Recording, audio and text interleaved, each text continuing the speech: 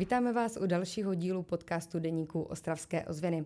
Naším dalším hostem je ostravský podnikatel Pavel Gorecky, majitel společnosti GoNet, která prorazila se svou internetovou televizí Lepší TV. Dobrý den. Dobrý den. Na kontě máte tisíc, 100 tisíc uživatelů, a to nejen v České republice. Vaši internetovou televizi mohou sledovat lidé na území všech zemí Evropské unie. Ušli jste tedy dlouhou cestu. Jaké ale byly vaše začátky? Kdy jste začali podnikat? Uh naši společnost jsme původně ještě se svým bratrem, nyní ji vedu sám, založili, když mi bylo 18 let, takže před nějakými 25 lety. Bylo to ještě na studiích na Vysoké škole podnikatelské fakulty v Karviné, kde jsme si pronajmuli kancelář a začali jsme lidí a společnosti připojovat k internetu. V té době internet ještě bylo takové cizí slovo, takže často to bylo, že jsme museli vysvětlit, eh, k čemu internet je, jaké jsou výhody a poté se nám podařilo sepsat smlouvu a mít připojeného klienta. Měli jsme spočítáno, že abychom byli v černých číslech, potřebujeme alespoň 100 klientů, kteří nám budou pravidelně platit a asi po roce našeho snažení tak eh, se nám podařilo dostat tady toto číslo, ale bohužel konkurence začala nabízet eh, v té době internetové připojení zdarma, tak jsme byli opět na začátku.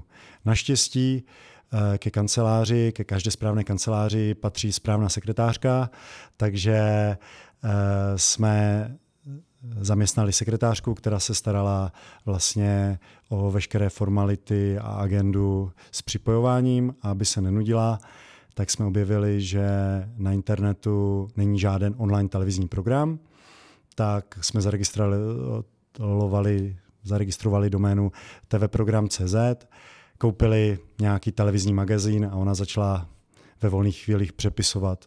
Za dva dny přepsala jenom jeden den, tak jsme přišli na to, že to není úplně ideální způsob zpracovávání televizních programů, tak jsme oslovili televizní stanice a některé ještě v té době eh, neměli e-mail, tak nám zasílali televizní program eh, s fotkama na disketách poštou. Takže to byly začátky prvního televizního programu v Česku online.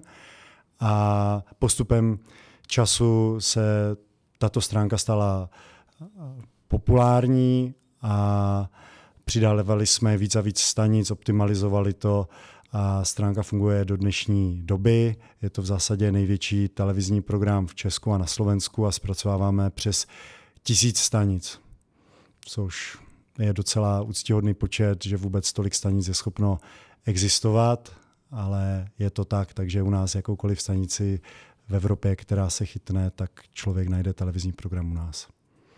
Eh, mluvil jste o tom, jak bylo složité v těch začátcích lidem nabízet eh, internet. Jak oni na to tehdy reagovali? Dnes je samozřejmě internet eh, běžný, je samozřejmostí. Jak tehdy ti lidé reagovali, jak jste jim vysvětlovali, k čemu vůbec internet je a jaký je jeho potenciál? Když jsme řekli, na internetu je všechno, tak řekli, to, to nám nic neřekne, takže jsme museli u každého klienta, pokud to byla firma nebo jednotlivec, najít tu strunu, na kterou brnkat, takže když to byl eh, když to byl podnikatel, tak eh, že tam může oslovovat již moderní firmy, které na internetu najde, může jim zdarma posílat nabídky oproti eh, poště.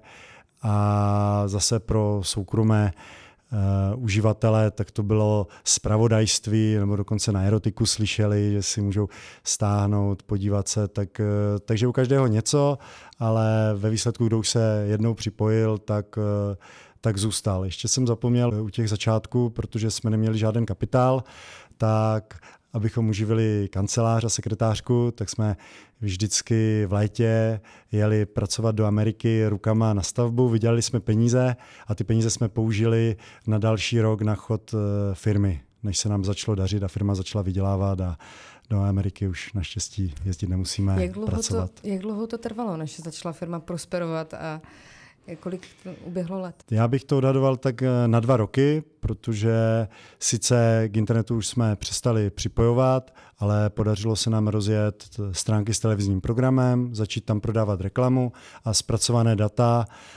se nám dařilo prodávat kabelovým společnostem, nebo jsme zpracovávali televizní program na klíč, takže z toho už se nám začaly generovat příjmy a od té doby už to bylo potom jenom lepší a lepší. Kdy a jak přišel nápad na Lepší TV? Tím, že jsme měli uh, podrobný televizní program, dělali jsme to dlouho, tak jsme si řekli, protože neustále, máme to i v názvu služby Lepší TV, uvažujeme, jak by stránky a služby mohly fungovat lépe a napadlo nás, že kromě televizního programu uh, dáme lidem možnost, aby si mohli zdarma nahrávat televizní pořady. To se ujalo jako kvalitní služba, ale uh, docela hodně využívaná, ale komerční stanice, hlavní české, s tím nebyly zcela spokojeny, tak uh, jsme tuto službu s televizním programem Eh, překlopili v placenou verzi sledování televize přes internet. Zmapovali jsme si předtím, než jsme to rozjeli, jak funguje konkurence. Ve výsledku, kdy si to byla jenom o 2 TV a viděli jsme, že to zvládneme eh, zpracovat výrazně lépe, uživatelsky, přívětivěji, aby eh, naši službu byl schopen ovládat opravdu každý i ne zcela technicky zdatný člověk konkurujete internetovým televizím velkých nadnárodních společností. A proč je lepší TV lepší a v čem? Dali jsme si to do názvu, dá se říct, v čem je Ferrari lepší než Fabia. Obě auta mají čtyři kola, obě auta nás dovezou k cíli ale potom je to v designu a v detailu zpracování a v jednotlivých detailech. Když šlápnu na plyn, dostanu se rychleji k cíli a tak dále. Stejnou filozofii uh, razíme i my, že chceme být ve v co nejvíce detailech a propracování služby být, le, být lepší. To znamená, pokud naši uživatelé začínají využívat zpětné zhlédnutí, aby nemuseli podle televizního programu běžet z hospody domů, že mu zrovna začal fotbal nebo seriál, ale aby se mohl podívat zpětně, tak eh, si řekneme, proč to nenabídnout na co nejdelší počet dnů, tak eh, jsme to začali nabízet na 100 dnů zpětně, díky tomu se lidi mohou dívat na x stanicích na seriály, pokud jim někdo doporučí, že hraje nějaký seriál v televizi, tak od prvního dílu. Potom Eh, jsou to další věci, neomezené nahrávání, spousta stanic za velice přijatelnou cenu na, tr- na trhu. Uh, jsou zde 25 tisíc rádí, kde si člověk může vybrat podle žánru. Jsou to videoukázky, hodnocení a spousta dalších detailíků, které uh, mi pomohou, aby když přijdu k televizi, zapnu, tak ať velmi jednoduše najdu Eh, to, co mě zajímá. Máme zde filtry, u každého pořadu víme přesně, co to je. To znamená, pokud někoho zajímá Sportbox, nebo někoho válečné dokumenty, nebo někoho americké komedie z posledních pěti let, tak si jednoduše nastaví tady tyto zobrazení a pak uh, vidí každý den nové pořady, které se objevily a během chvilky si pustí to, co ho zajímá a může si užít v klidu televizi. Je součástí také filmotéka? Lidé, kromě sledování televize a sledování televize zpětně, mají možnost sledovat i filmy, kde za rok eh, nabízíme více než 15 000 filmů. Eh, většina z nich je s českým dubbingem, což oproti Netflixu je výrazně větší číslo. Každý den přibývají nové filmy a tudíž eh, od reakcí zákazníků víme, že prostě když se chcou podívat na film, tak eh, nemusí se složitě prohrabávat, co tam všechno viděli nebo neviděli, že tam nic nepřibývá, protože 15 000 filmů za rok je opravdu úctíhodné číslo. Kam se celý, eh, celá ta internetová televize může ještě do budoucna posunout? Je v čem ji ještě vylepšovat? Věříme, že ano. Je to od drobných eh, detailů po eh, zlepšování uživatelského komfortu, větší kvality signálu, většího rozlišení, nebo například rádi bychom před sezonou, kdy lidi jedou na dovolenou, tak umožnili lidem offline stahování pořadu, aby když Eh, jedu třeba s dětmi do Chorvatska, tak jim stáhnu nějaké pohádky a ty se mohou v autě, případně v letadle eh, nerušeně dívat. Takových nápadů máme spoustu a jsou ve stádiu zpracování, nechci všechno prozrazovat, ale věříme, že x bodů, které připravujeme, bude konkurence velmi smutná, že jsme zase o velký krok eh, před nima. Když se vrátíme zpátky ještě ke sledování internetové televize, po čem je mezi lidmi, mezi vašimi zákazníky největší poptávka? Na co nejvíc slyší, eh, co chtějí, proč si vás vlastně objednávají? Tím, že už máme 100 tisíc eh, platicích zákazníků a nabízíme programové balíčky pro Čechy, Slováky, Ukrajince, Poláky a Chorvaty, tak už je to eh, velká databáze nápadů, které nějakým způsobem filtrujeme a pokud nám to přijde, že to je zajímavé, tak to zpracováváme.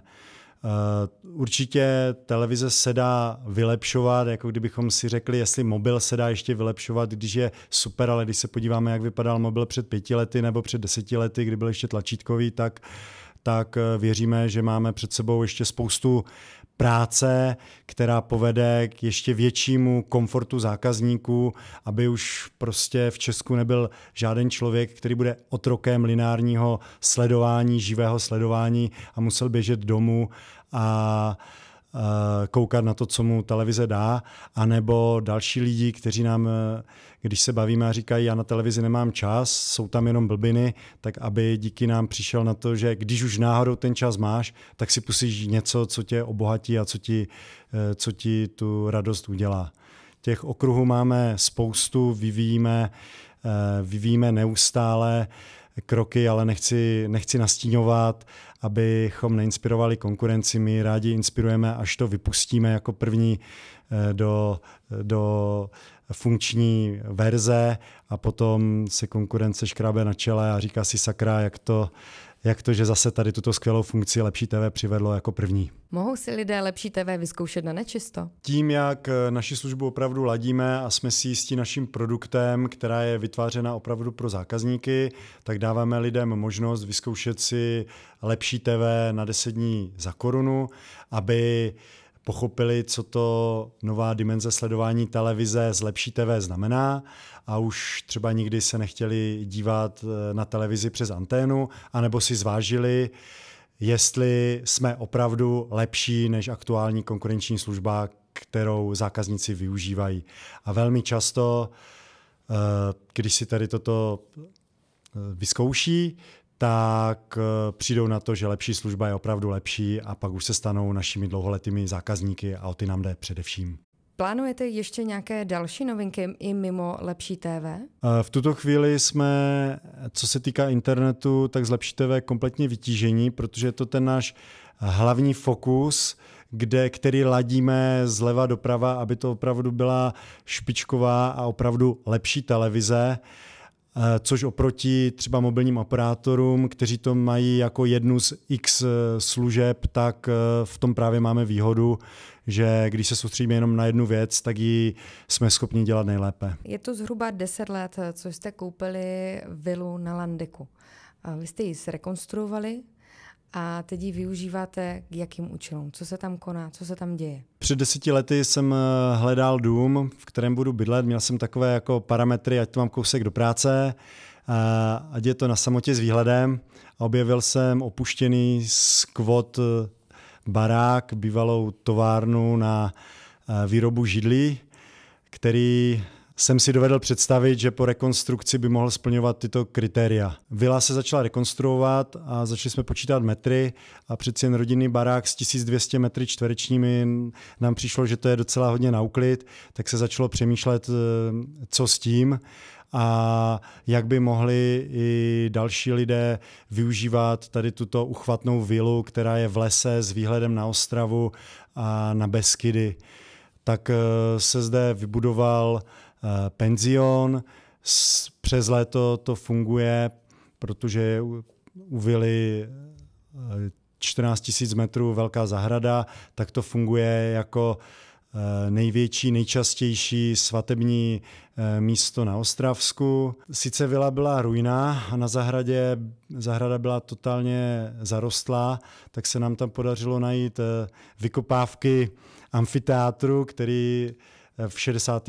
letech sloužil pro Hornické muzeum dole Amfiteátr jsme kompletně zrekonstruovali a když už byl zrekonstruovaný, tak nám přišlo škoda zde nic nepořádat, tak jsme loni uskutečnili první ročník festivalu Divadelní hvězdy nad Ostravou, kde naším cílem a plánem bylo posunout letní divadelní kulturní zábavu na další level, protože uh, amfiteátr s opravdu uchvatným výhledem uh, na Ostravu z vůní té prvorepublikové vily, tak opravdu evokuje velmi příjemné, příjemné pocity a do toho, když jsme vybrali eh, zajímavé, eh, zajímavý repertoár her, tak už při prvním ročníku lidi se ptali a prosili nás, hlavně pořádejte další, to je úplně neskutečné, když skončilo divadlo, nikdo neběžel domů, ale dali si lidi skleničku vína, klábosili a prostě užili si kompletní kulturní večer. Kromě divadla jsme vždycky měli nějakého hudebníka, který tam pod kresem dotvářel atmosféru a bylo to úžasné. No a tím jsme si uslyšeli na sebe byč. Když se to lidem líbilo, tak eh, jsme se rozhodli, že teda s divadelním festivalem budeme pokračovat. A když loni jsme měli čtyři hry, tak letos jsme se rozhodli, že ji budeme mít alespoň deset. A v tuto chvíli Eh, moje manželka, která to má na starosti, eh, zajištění eh, těch správných her, tak již komunikuje a začíná se nám utvářet velmi příjemný repertoár s hrami a víme, že letos se můžeme těšit na Karla Rodena, pana Heřmánka, pana Vidru a další a věříme, že to zase ještě o kousek posuneme, posuneme jak kvalitou her, tak těch Eh, prožitku eh, u té vily. Já se zeptám, kdy budou vstupenky v prodeji. Eh, věříme, že od začátku dubna by měly být vstupenky v prodeji a loni, i když to byl první ročník, tak se nám podařilo, že hry byly vyprodané, proto doporučujeme to opravdu sledovat, ať se to nedozvíte když už bude všechno vyprodáno. Děkujeme, že jste přijal naše pozvání a děkujeme také posluchačům a divákům za vaši pozornost.